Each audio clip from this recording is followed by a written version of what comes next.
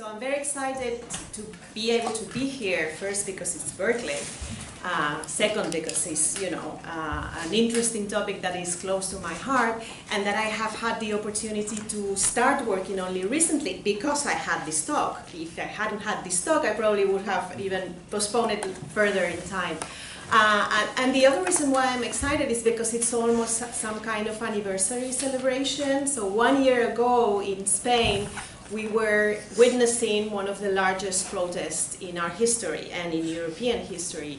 Um, so I had this kind of very nice video here, which doesn't work, which shows, you know, the different cities in Spain all of the main capitals of the 50 provinces and many smaller villages, and the crowds that gathered the 8th of March uh, in 2018. So this, this was a kind of a unique event that has gathered my attention. I have been working on political protest for a while already, but not this kind of women protest. So this is what I'm going to be talking about. And um, let me start by saying that this is not this is not um, unusual in, in Spanish politics. So Spain is a country where protest is very common. So here on the left you have a graph showing the level of uh, participation in demonstrations in Europe. The red line is the average for Europe, that's 10%. And the blue line is the average for Spain, which goes up between 20 and 35 percent. You can see the peaks there around 2003 and 2011. Those peaks you may be interested in knowing. The first one is the Iraq War, which if you see this wonderful film now uh, on screen, Vice, uh, about how you know this this uh, uh war was uh, cooked, um, you will you won't see that Spain was one of the, the few countries that supported Bush in going uh, to war to Iraq, and Spanish people were very much against this decision, and they went to the streets. And that, those were one of the most uh, crowded and attended demonstrations we've had in history. The other peak is the peak related to the Great Recession and the austerity policies and the real democracy now. You may remember the Indignados movement, which was the seat of the uh, Occupy movement that then traveled to the, to the US. So those peaks, you know, have a history. And these are the data for the um, 8th of May, one year ago. I'm not going to go into any of the technical details of the data, so if anyone is interested, maybe I can talk about it in the Q&A, but I go more into, into the substance. So you see here that over 20% of people participated in these demonstrations. Uh, a little bit less, about 17%, went on strike that day, which was a general strike called. And then uh, an even larger percentage ask other people to participate, and then everyone was talking about it. That's the last. Uh, that's the last column. So th they were not not uh, unexpected. This large protest, but still quite impressive. They mobilized the same number of people as all political topics during one year in in Spain. Um, those months before March 2011 were not very um, quiet in Spain. You may recall we also had our Catalan uh, mess going on.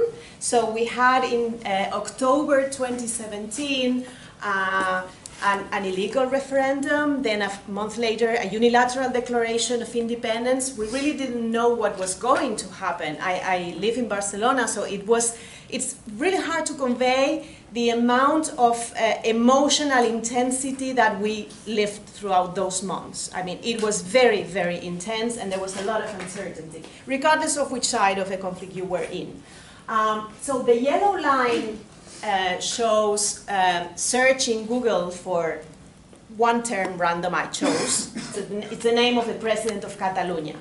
And you can see that how it peaks around October, and then it peaks later, the yellow line regarding uh, different events on his uh, run away to Brussels. He's now in, in Brussels. You know that we are now having a political a, a trial of the uh, politicians that were involved in the in, the, in these events. Um, the purple line is the line uh, of the search corresponding to the uh, to the 8th of May protests. So it's really something that is gathering people's attention around the date. You won't see any uh, line regarding Me Too. That was not visible at that time. nor Cuéntalo, it wasn't still there. The red, the red line, uh, line represents the 1st of May prote protests, which are like the typical standard uh, workers' uh, uh, demonstrations that take place every year. So this is just to highlight how important and how visible uh, this was uh, for people. What I'm going to try to do is to give you four arguments on why these protests happened. I usually work at the individual level, so I try to explain why people behave the way they do using surveys, but some of my arguments are going to be a bit more contextual. Uh, also for those of you that are not very familiar with the, with the Spanish case, and you're very welcome to raise your hand and interrupt me for any clarifications at any time in point. So I'm going to uh, handle four, four explanations that have to do with, or, or, try to answer why now this protest and why some people chose to, to participate in them. The first one has to do with having an opportunity. So it's important to analyze how the political context provides incentives for people to actually engage into, into political action. And we are seeing a moment of political realignment that I think is consequential. The second has to do with how people see women issues uh, in general. So I'm going to talk a little bit about attitudes, uh, attitudes of stereotyping and sexism, so that you have an idea of how you know Spain locates in, in, in, this, in these questions. And then I'm going to talk about the Me Too as an element that brings to uh, um, um, resources that are important for participation. One is plain mobilization via social media, so we know that people participate because, because they are asked to participate, among other reasons. And the other one is the collective identity that is necessary for protests to, uh, to build up and gain momentum. And then finally, I'm going to also highlight the relevance of the spark or the trigger that generates the moral outrage that is also a very powerful political, uh, political motivation. If I have time, I will try to work a bit or to um, share with you a bit my analysis on what have been the consequences of these protests. So I will have a look at how feminist collective identity has changed for the people that participated into these uh, protests and how this participation has also affected vote, vote intention which is you know, the political relevance that this process will have eventually in the, in the electoral um, arena. Uh, and I will close with a reflection on the mobilization of anti-feminism, which is links with my previous topic, which is, uh, which is populism. Um, so let me start with a, uh, an explanation that has to do with the context in Spain. So in Spain, for the, since the early 80s until 2014, we've had two main parties the left-wing party, the right-wing party, the socialist party, and the popular party. These are the blue lines and the red lines. This is vote intention. And you see that for a chunk, a long chunk, we only have the blue one there and the red. We have other things going on, but the, you know, the main logic of the system was this one. And then something happens in 2014 uh, when two new parties appear. So we have a new center-right party, Ciudadanos, that uh, is born basically around the Catalan question. So it's a Spanish nationalist liberal party, liberal in the European sense, so pro-market. Um, and then you have Podemos, which is a left-wing populist party, uh, moving from more populist to more left-wing, and you know still finding its uh, its way. So this is a, a, moment of clear political realignment, and it is, you know, one of the arguments about why women uh, protest and why women get mobilized, coming from Lisa Baldez on her work on Chile, is that when there is a moment of political realignment, this is a condition that facilitates uh, protest, and in particular, women women protest. So that's the first uh, that's the first element to uh, to um, to bear in mind. Parties are still learning to handle the women question in Spain. So the Socialist Party is the party with the largest trajectory of defending women's rights, and they have enforced legislation against gender violence and pro-equality in 2004 and 2007, respectively. The Popular Party kind of tags along reluctantly. Uh, he buys the gender violence question. He is more uh, against quotas, for instance. Podemos is clearly a party that defines itself as a feminist party, and Ciudadanos is in the middle of the mess, as we are, as we are going to, to see. They, they, they struggle to find a, a position on the, on the question. So the second element has to do with predispositions. So this is an index of stereotyping coming from European data. The interesting point to see is not to follow all the numbers or anything. The interesting point to see is that Spain is at the tail of this index, near Sweden, Denmark, and the Netherlands, with the lowest levels of stereotyping. This is asking people whether they think men are allowed to cry, whether women are more capable of caring, and these kinds of, of things. And in, in, the other extreme of the scale, you have some uh, Eastern European countries. But Spain is a country with relatively low levels comparatively of, of stereotyping. And usually in all indicators regarding attitudes towards gender equality, we're quite there with the Northern uh, European guys, which we aren't usually with the Northern European guys, with, uh, you know, on, on other sorts of, uh, of elements.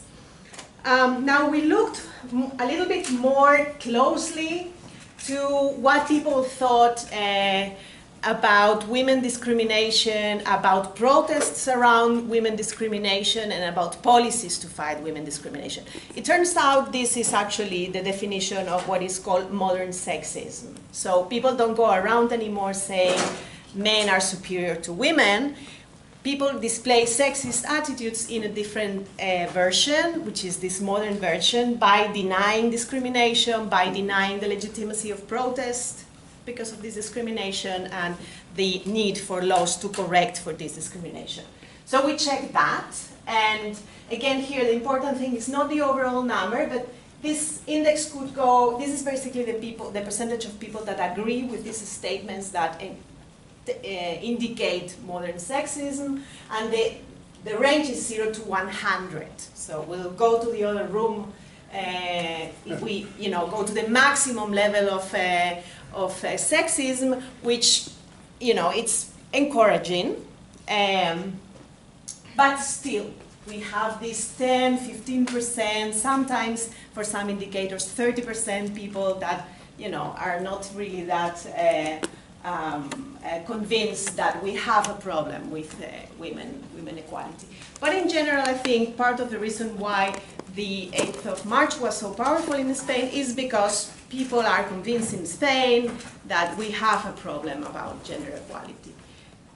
Probably related to this is the visibility of uh, gender violence, because this is counted, this is recorded, and we have approximately one death a week of a woman killed by her partner or former partner. So, uh, you know, this is visible and people are aware of this. When it comes to other areas of discrimination, people are not that convinced that we have a problem. But at least in terms of sexual violence, we, we do have, gender violence, we do have some recognition. So this was the second element I wanted to, uh, to point out. Um, The third element, the mobilization element. As I, as I said in the introduction, I think there are two ways in which the Me Too was important. So the Me Too uh, started, as you know, in October 2017, uh, and in Spain it was particularly visible when it turned into Cuéntalo, which is the Spanish hashtag, the kind, the way it was translated and which uh, generated uh, a very large amount of, uh, of traffic in, in, in Twitter. You can have a look at the web. There is a project of Proyecto Cuéntalo where you can see uh, in this area, round area here, full of small dots, this is all the tweets that were uh, tweeted with this hashtag. And each tweet is, is coded according to a number of uh, characteristics. Um, you can see whether the tweet is reporting a personal situation or whether it's talking about someone else or whether it's just a support for uh, uh, these questions or whether it's somebody against or trolling or whatever. So it's, it's quite impressive to see uh, the number of, of, of, tweets that were, that were issued around, you know, during, during those months uh, starting in, in April 17th. But this was after the protests. okay? So I think we're going to see after that um, Me Too was known to people. The fact of knowing Me Too was relevant for participation to people, uh, but it became uh, even more so after the protests. So there is an element here of um, mutual relationship between how the collective identity that Me Too uh, uh, produced in the sense of making personal experience become shared experiences and therefore able to be politically mobilized and how this uh, uh, generated protest and then how protests reinforced this uh, collective identity by generating even more movement. So these are the two elements I'll try to tap on at the individual level, how social media is a mobilization tool, but also uh, a tool to build uh, collective, collective identities that are essential for, for collective action. And finally, the moral, the moral outrage trigger. So um, those of you familiar with um, Spanish politics will remember that in November 2017, we had the trial of these five men uh, that were accused of a gang rape, uh, of gang raping an 18-year-old in, in the San Fermines two years, one year before, one year and a half before. Uh, and maybe you didn't notice uh, in the graph before, but there was this gray line there that I didn't talk about. Uh, the gray line peaks in November when the trial is being held. The gray, the gray line is the search for La Manada. La Manada was the self-given name to this group. That's the herd or the pack in, in, in English. I, I'm not sure the term conveys the kind of sound it has in, in, in Spanish, like very animal. Um, and then back again after the protests, in, in April when uh, the court uh, pronounced the sentence. And they were convicted, but not for the most uh, severe felony, and they were released on bail. So uh, obviously, you know, the, the, the, kind of moral outrage generated, this is not a direct assessment of the moral outrage generated by this case, but it's, it's an indicator of how people, how interested people were in this, in this topic. And we also have information about whether people knew about this about this case. Okay, um, so um, about 70% of people knew uh, this case I was mentioning. Um, we ask whether they think the case is a case of, and we give several incorrect answers, and the correct answer, uh, more people that knew about Me Too. So this is about 70%, this is about 50% still, is about 50% of our sample aware of a hashtag in English in Spain. So it's not, it's not irrelevant. And then we also tapped into um, um, the knowledge of two um, uh, active uh, uh, people uh, in Twitter and socially in general. So Barbie is a journalist who has a blog uh, specialized in uh, gender questions. And she has a very strong feminist uh, stand, and she has about 300,000 followers in Twitter, so she's very well followed.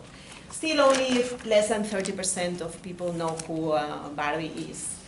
And then we have Leticia Dolera, who is an actress. She's a celebrity, the closest kind of example we have to a celebrity, also very much engaged into uh, feminism. She's followed by uh, about 170,000 people in Twitter, and she uh, is very active and she is better known. You know, so it, the word doesn't happen in Twitter. I know I'm I'm not I'm challenging you with this uh, with this uh, table, but this is just a summary, and I want to walk you through it. Uh, so what I am trying to see here is how important were all these elements in explaining why people decided to participate in this protest. So I am taking participation in a broad sense, so I'm considering people that went on strike, uh, went to the demonstration, or mobilized somebody to participate in the demonstration or the protests. Um, I am uh, considering a number of factors which are all listed here. It's kind of unpleasant. And then uh, what I basically will see if, is whether the effect of these variables was zero, whether they didn't matter, okay? If they are to the right of the zero and very far away, it means that they matter a lot. The more this characteristic, the more they were to, more likely they were to participate. If it goes to the left, the more this characteristic, the less they were to participate, okay? So we have, starting from top, some social demographics. We have more women than men in the protest, okay? If you are a man, you were less likely to participate, so the dot is on the left, okay? And we also have more young people than people middle-aged or older. Our sample is not representative in terms of age. We don't have older people in our sample, okay? But people from 16 to 29 were more likely to participate in this protest. That's not surprising. It's a little bit more surprising that we don't find an effect of education or income. This means that protests were very transversal socially, and this is actually something that challenges what people tend to say sometimes, that feminism is something elitist, that only, you know, intellectuals and people with uh, higher levels of education and resources um, uh, support. That's, that's not what the data are saying. The data are saying that people from all uh, ed educational and economic backgrounds were participating. Again, with some caveats on the representativeness of, of the sample, but the, the, the data are actually better for this kind of analysis than for just assessing how many people went to or did that. Right? Now, the predisposition. So you actually participate in protests because you feel, you think that you know what the protests are after, what they defend is something that is meaningful to you, you believe in that, and you want to do something to achieve that. So this is what we measure by uh, sexism and self-ideological location. And these are the most powerful predictors. So people that score high on this modern sexism index are far less likely to participate people that score high in the left-right scale means people that are to the right, that consider themselves as conservatives, they are far less likely to participate. Okay, these are the most important predictors. Consider yourself a feminist, not so important for deciding you to go to the demonstration. We will see that there are consequences on your degree of identification as a feminist, but it's not an explanation, it's not a very relevant explanation. And then being a Twitter user is uh, becoming, I should say, a Twitter user is an explanatory factor. So people that became Twitter users during 2018, between May 2017 and May 2018, were more likely to participate. We don't see a Facebook effect. So it didn't go through Facebook, it went through Twitter, as you know, the Me Too would, uh, would suggest. Knowing about La Manada, Me Too, Barbie, uh, Dolera also matters. So if you are more knowledgeable of all these feminist related questions, you are more likely to participate. But we don't know to what extent this is a cause or an effect in this case because we didn't measure this before. Um, and then there are also some biographical um, elements that can explain you being more likely to participate. For instance, if you had a daughter in the last year, doesn't matter whether you are a man or a woman, you were more likely to participate.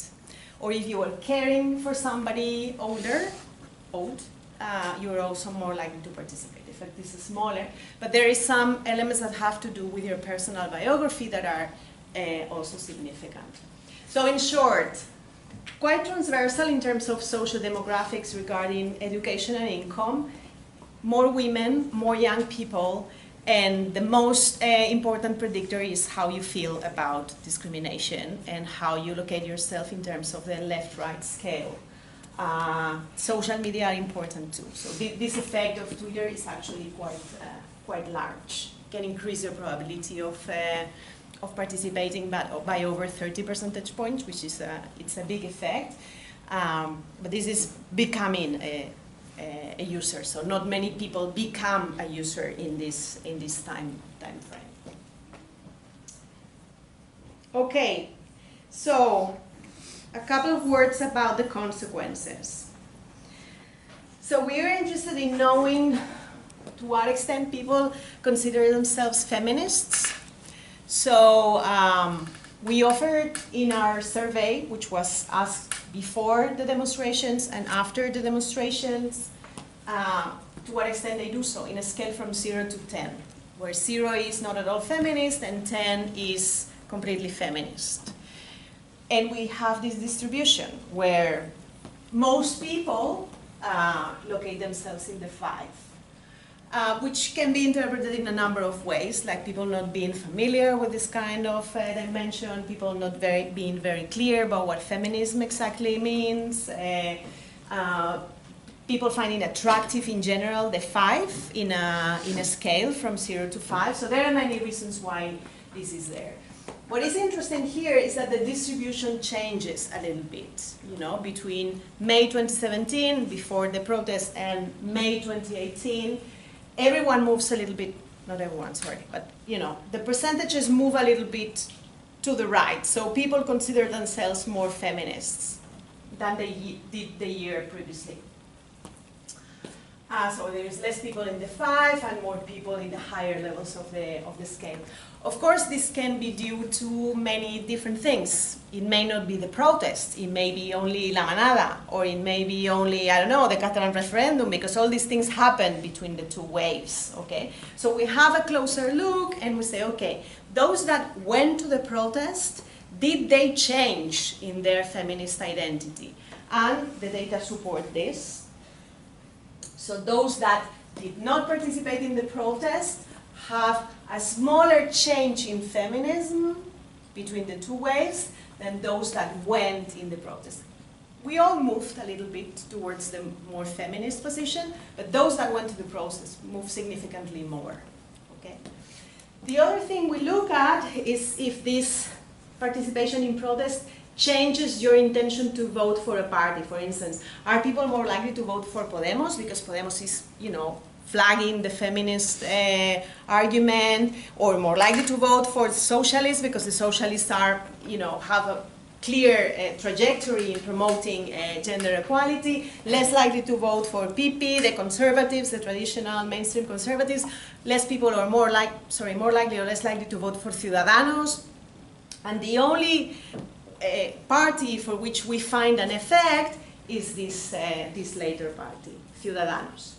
So it's not that going to the protest reduces the chances of voting for this party, uh, but we are all a little bit more feminist in 2018 as compared to 2017 in Spain, but we are also a little bit more likely to vote for Ciudadanos, except if you went to the protests. So the protests keep the intention to vote for this party stable, right?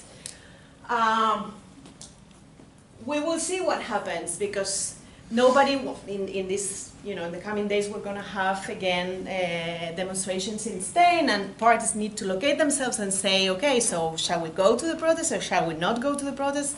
So Ciudadanos is in this uneasy position because they, um, they, they want to uh, portray that they are a party that is pro-equality, but they have, on the other hand, some political arguments that are very challenged by feminists, and on the other hand, this kind of not truly positive return out of uh, participating in the, in the protest. So we see how they deal with it.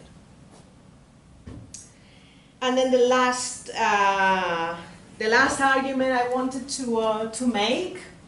So usually a wave of feminist mobilization like this one comes with a wave of anti-feminist mobilization afterwards, the backlash reaction.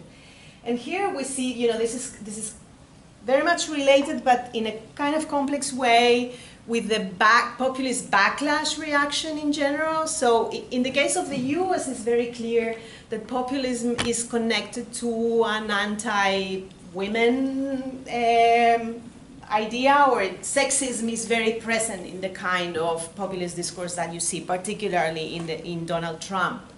But this is not always the case in all, uh, in all uh, populist radical uh, right parties. So for instance, uh, in the UK, the UKIP is basically quite silent about the issues, not very relevant. And some uh, uh, populist parties in Northern Europe, they actually engage in a pro-feminist discourse that some could call a violet uh, shower or, you know, it's basically the idea of using uh, feminist arguments and the promotion of equality between, between men and women as a way to discredit or oppose migrants and in particular mus Muslim uh, migrants. So it, it's a kind of complicated relationship. What do we have in Spain? So we have two things. So this, this guy on the top corner, he's the new leader of the uh, Popular Party, so the Conservative Party. So many things have happened in Spain in this past year, and one of the things that happened is that the Conservative Party, the Popular Party government was thrown out uh, of office by a vote of no confidence. This was uh, just before our second uh, wave, uh, so in May 2018.